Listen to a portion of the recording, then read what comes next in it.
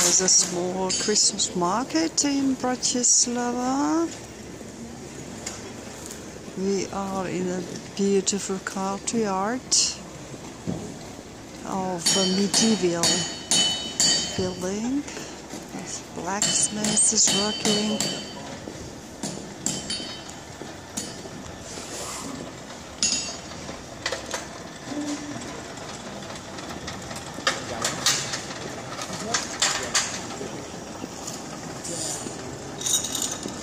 tubes are there.